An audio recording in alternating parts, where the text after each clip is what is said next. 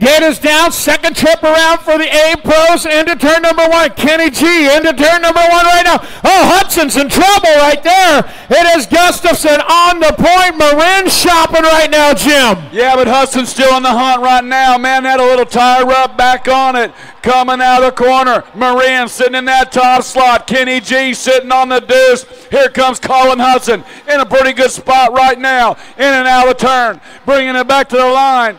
Oh, it's going to go Moran, Gustafson, followed up by Hudson, and the dominator, Derek Berg.